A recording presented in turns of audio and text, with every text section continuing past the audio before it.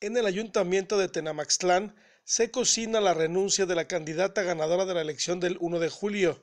Se trata de Yolanda Mesa Cepeda, postulada por la coalición por Jalisco al frente, conformada por el PAN, MC y PRD. La edil pediría licencia en la sesión del Pleno del Ayuntamiento este domingo y en su lugar los ediles de esa coalición votarían a favor de Gilberto Pérez Barajas, quien es quien ocuparía la silla de síndico.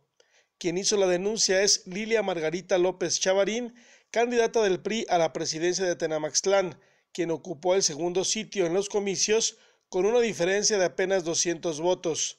La campaña en el municipio de Tenamaxtlán, situado en la región Sierra de Amula, resultó accidentada, ya que aunque Yolanda Mesa es quien fue registrada como candidata titular a la alcaldía, quien en realidad hizo campaña proselitista fue Gilberto Pérez Barajas, de profesión arquitecto y militante del PAN.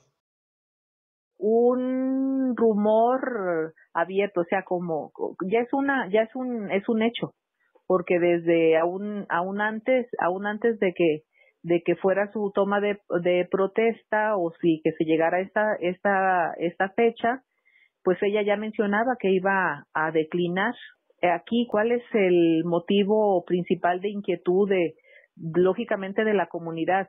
Primeramente, el respeto a la paridad, principalmente el que haya sido, llamémosle en vano, que se haya pugnado porque la mujer tuviera equidad, eh, porque la mujer tuviera una representación y de una manera así tan sencilla, simple y sencillamente decline a favor de, a favor de un hombre.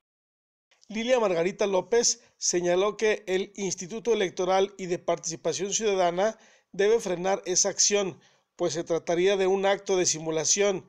Es otro caso de Juanitas o Manuelitas, donde una mujer electa a un cargo público pide licencia y en su lugar queda un hombre. Gilberto Pérez visitó casas, distribuyó publicidad a su nombre y abrió una fanpage para promocionarse desde que fue la campaña, ella estaba registrada oficialmente, pero ah, estaba un hombre haciendo campaña. ¿Y el nombre de él? Gilberto Barajas, nada más me acuerdo de su primer apellido.